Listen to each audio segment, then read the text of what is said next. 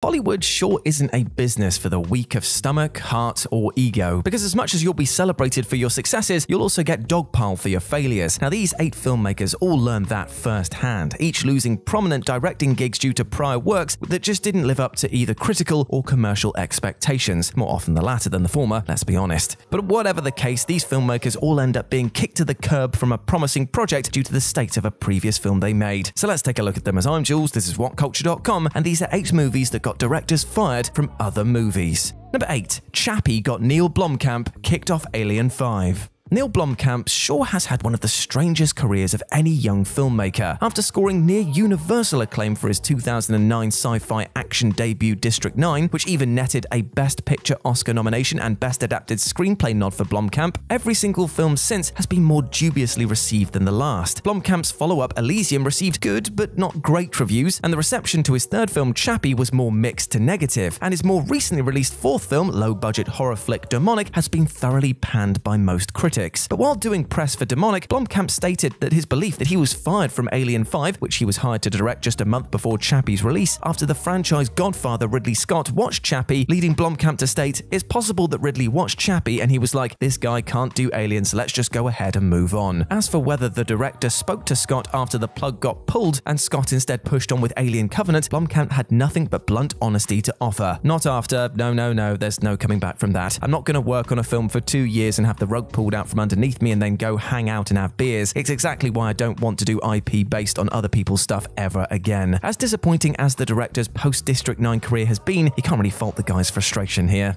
Number 7. The Thing flopped and got John Carpenter fired from Firestarter. Though John Carpenter's The Thing can't be thought of anything less than a sci-fi horror masterwork today, the reception was decidedly frostier upon its original 1982 release. The Thing was initially a critical and commercial failure, and in what might be one of the all-time worst Razzie nominations, the dread-infused synth score earned the composer a baffling Worst Musical Score nomination. But while shooting The Thing, Carpenter had already been offered the opportunity to direct an adaptation of Stephen King's novel Firestarter, which he accepted and also brought brought his Thing screenwriter Bill Lancaster aboard. Yet once the Thing cratered at the box office, barely recouping its $15 million budget, Universal let Carpenter go and replaced him with the on the rise director Mark L. Lester. Ultimately, it was a blessing in disguise for Carpenter. Lester's version of the film was a critical and commercial failure, while Carpenter went on to enjoy an incredible run of films throughout the 80s, including Christine, Starman, Big Trouble in Little China, and They Live. Number 6. X-Men Apocalypse's underperformance got Bryan Singer fired from Dark Phoenix. It truly is fascinating that Bryan Singer managed to maintain a successful Hollywood career for as long as he did, despite so many allegations of abuse being leveled against him over the decades. Even when the allegations intensified amidst the release of 2014's Days of Future Past, Fox stood by the director and invited him back to helm 2016's Apocalypse. However, Singer didn't end up returning to direct what would have been the final film in Fox's X-Men franchise, Dark Phoenix. While many speculated that this was due to Singer's increasingly radioactive standing in the industry, Singer was actually dismissed dismissed from the sequel due to the critical and commercial underperformance of Apocalypse. Though it's entirely possible, if not likely, that Singer's troubled history made the decision much easier, it was announced mere months after Apocalypse's release that the studio was pressing the reset button, wishing to develop future films with a new filmmaking voice. Sadly, Fox continued to entrust the franchise to wildly hit and miss writer Simon Kinberg and made the additionally ill-informed decision to hire him to direct Dark Phoenix as his filmmaking debut. To the surprise of absolutely no one, Dark Phoenix flamed out in every every way that mattered, while Singer's career has been firebombed beyond recognition by a slew of additional sexual abuse allegations. Number 5. The failure of Heaven's Gate prompted producers to fire Michael Cimino from Footloose.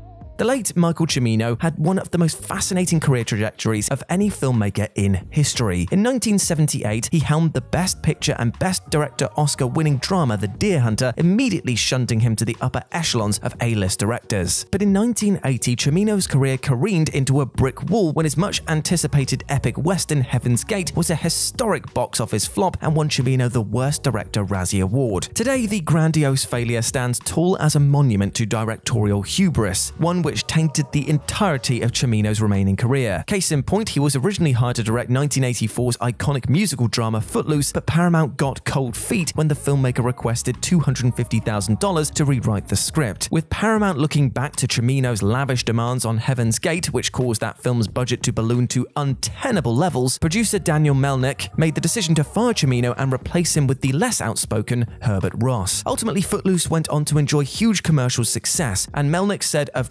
Cimino's version, it might have been a good film, but it wasn't the film we wanted to make. It wasn't the film we came to the party with. Sadly, Cimino never made another box office hit for the rest of his career. Number 4. Fantastic Four's troubled production got Josh Trank fired from the Boba Fett solo movie. On paper, Chronicle director Josh Trank seemed like an inspired choice to helm a gritty reboot of the Fantastic Four franchise for Fox. There was enough industry confidence in his talents that, mere weeks into the film, Trank was also announced to be directing a standalone Star Wars film said to be a Boba Fett solo movie. But before Fantastic Four's release, word got out that Trank's on-set behavior was less than ideal, reportedly damaging his rented accommodation and failing to communicate with studio executives, causing the studio to try and salvage the film with reshoots. As such, several months before Fantastic Four hit screens, it was announced that Trank had exited the Boba Fett movie, or as insiders claimed, he had been let go from the movie by Lucasfilm executives due to his volatile behavior. And it absolutely tracks. Letting a troubled director take charge of a mega budget movie from one of the world's most valuable IPs would be straight up fiscally irresponsible. Six years since Trank's firing, the Boba Fett movie never materialized, though the chapters have reappeared on The Mandalorian, and Trank has since only directed the mediocre Al Capone biopic Capone starring Tom Hardy. Number 3. Pan flopping got Joe Wright fired from a Julius Caesar biopic. If you don't remember 2015's Peter Pan origin story Pan, well, don't feel too bad. Despite being directed by the talented Joe Wright and starring Hugh Jackman as Blackbeard while rocking a $150 million budget no less, the film was rinsed by critics and largely ignored by audiences, such that it's almost evaporated from the cultural consciousness entirely. But the wider implication was that Pan ended up derailing the next directing gig that Wright had already lined up. While on the press tour for Pan, Wright had been hired to direct Emperor, a Julius Caesar biopic for for Lionsgate, but as soon as Pan's box office figures came through, those talks were abruptly put to an end. Despite several sources corroborating the story, Wright's reps and Emperor's producers naturally denied that hiring or firing had ever taken place. Regardless, Wright quickly rebounded with the phenomenally successful Oscar winning Winston Churchill biopic Darkest Hour. All the while, there haven't been any updates on Emperor since 2015. Number 2. The Book of Henry got Colin Trevorrow fired from Star Wars Episode 9.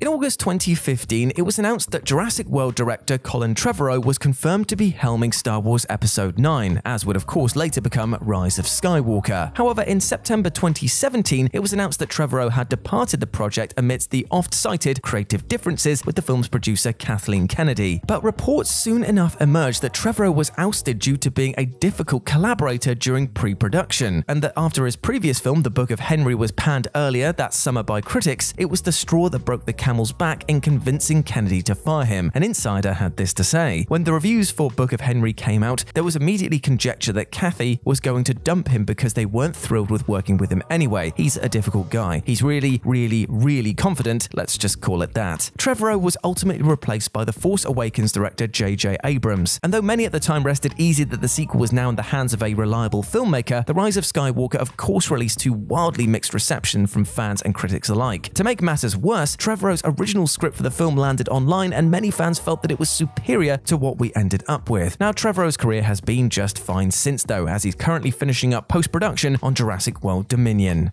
And number one, Sky Captain and the World of Tomorrow flopped and got Kerry Conran fired from John Carter. By getting in tight with the right people, director Kerry Conran managed to secure a $70 million budget for his 2004 directorial debut, Sky Captain and the World of Tomorrow, a sci-fi action adventure starring Jude Law, Gwyneth Paltrow, and Angelina Jolie. Though generally well received by critics for its innovative, effects-heavy filmmaking style, it tanked at the box office and almost immediately pumped the brakes on Conran's promising career. Now, he'd been in negotiations to direct John Carter of Mars, an adaptation of the book series, but allegedly once the opening weekend numbers for Sky Captain dropped, he was promptly given his marching papers. He eventually was replaced with Jon Favreau, though Paramount ultimately shelved the project for several years until it was picked up by Disney, who ended up making it under the shortened title original John Carter with Pixar filmmaker Andrew Stanton. John Carter went on to grossly underperform at the box office and score wildly mixed reviews, though does enjoy a certain cult fandom today. As for the director, after failing to get several subsequent films off the ground, he decided to step away from Hollywood and work on his own projects. And there we go, my friends. Those were eight movies that got directors fired from other movies. I hope that you enjoyed that, and please let me know what you thought about it down in the comments section below. As always, I've been Jules. You can go follow me over on Twitter at RetroJ with a zero, or you can swing by Live and Let's Dice, where I do all of my board game content and Warhammer streaming and stuff like that. So if you're interested, then please go check it out. But before I go, I just want to say one thing. Hope you're treating yourself well, my friend. Hope that you are directing your own life in a responsible and healthy and happy way, because that is all I want for you, my friend. For you to go out there with love in your hearts and to feel good about yourself, because you are a massive ledge and do not let anything or anyone else tell you otherwise, alright? Now go out there and smash it. As always, I've been Jules. You have been awesome. Never forget that, and I'll speak to you soon.